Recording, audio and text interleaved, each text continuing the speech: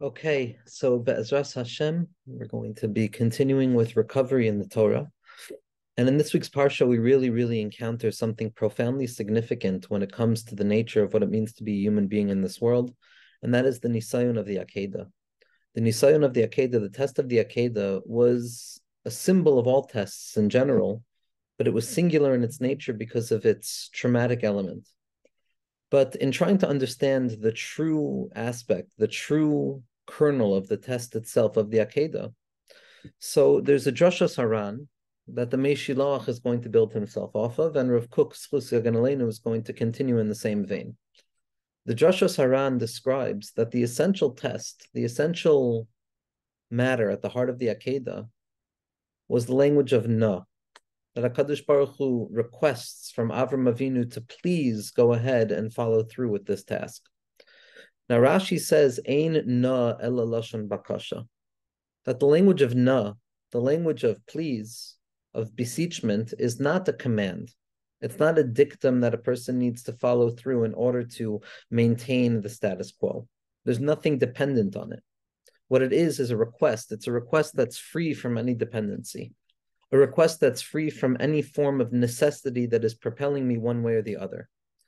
That language of na, that request of please, placed Avram Avinu in what Rav Kook describes as the full and total expression of bechira, free will, the terrifying nature of human responsibility and freedom that rests at the core of what it is that makes us our best selves and what it is that makes us lo aleinu our worst selves, the ability to choose, the nakuda of bechira we spend most of our lives, we spend most of our waking hours either unaware of Bechira or fighting against the nature of Bechira by doubling down into the habituated nature of our experience in this world.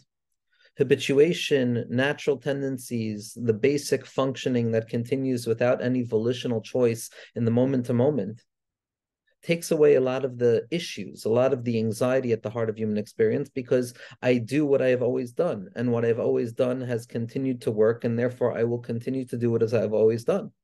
And by doing what has always been done, by engaging with whatever model of thinking we have always engaged with, we allow ourselves to flow ever so smoothly down the path of least resistance where I don't have to overcome myself today. I don't have to decide today. I don't have to make a hachlata or a decision as to how I want my life to go today because life will carry me today. A nisayon is the opportunity for a person to recognize that, oh my goodness, if I am not responsible, if I'm not focusing in on the decision orientation of the day to day moments in my life, and ultimately the main decision is how am I going to see the circumstances? How am I going to choose to look at the world?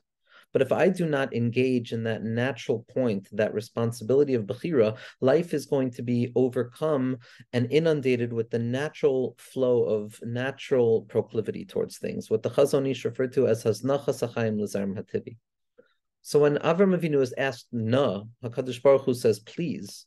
So at that point, Rav Kook says that Avram Avinu relinquished any element of compulsion, any element of compulsion, inner or outer, and he was left with the pure nature of a decision, and that itself is terrifying.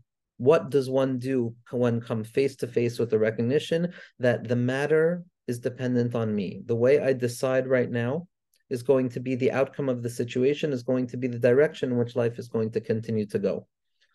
Furthermore, taking it out of the philosophical psychology of Bechira or free will, the Meshiloach softens this dilemma of Avram Avinu and creates more of a modern sensibility that we find ourselves in on the regular. Meaning to say that the Nisayon of the Akedah or any Nisayon is not simply a singular moment and act, but rather it is a perpetual state that is accessible vis-a-vis the mind if it's honest enough with itself about how it feels in the moment. Zat the the secret of Na, is what the Zohar HaKadosh refers to as Aspaklaria Deloy Nuhara that there were two ways in which the Nevi'im, the prophets, those who were close to the Shalom, the chariots of the Shalom, each and every one of us encounter the messages that HaKadosh Baruch Hu is sending to us throughout reality, throughout our lives, throughout ourselves. One emerges through something called the clear lens, the aspaklaria denahira, where things are clear, vivified. It's very clear what I need to do. It's not so much of a question of what is right or wrong in my subjective stance in this moment. I know exactly what the marching orders are to do, and there is really no nisayon of bechira. That's the cultivation of habit. That's the cultivation of healthy morals and responsibilities, which gives me the ability to remove any handicap that would prevent me from doing the right thing in the moment where it's clear.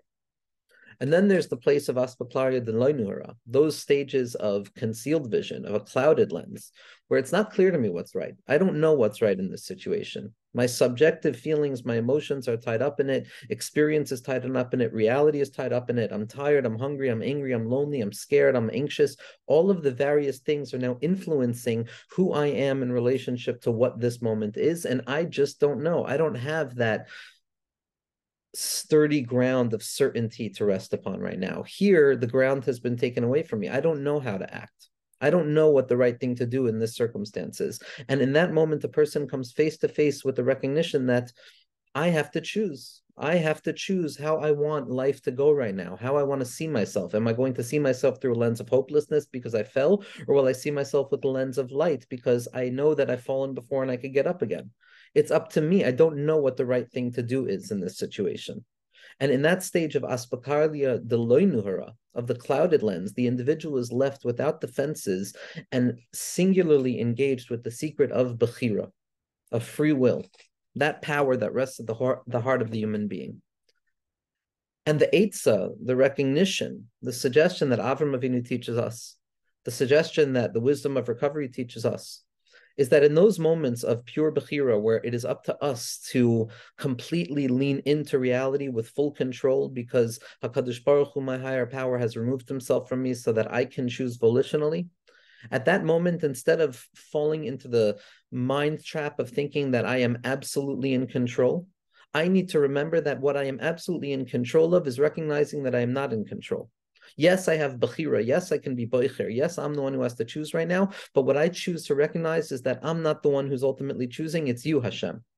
It's what's referred to as Bechira Biyadia, of choosing to live in accordance with the fact that HaKadosh Baruch Hu is everywhere and everything. And even in this situation where I feel completely abandoned in terms of how I need to make the next volitional choice, I'm aware that every ounce of myself is only made, motivated through the higher power that moves through me that I'm a shliach. When a person recognizes their shlichus, when a person recognizes that in truth I am not a self, I am simply a messenger for the infinite one, for the holy one, blessed is he, for the Ribbono Shel At that point, I can choose to do what comes most naturally to me, and what comes most naturally to me is to do the next right thing.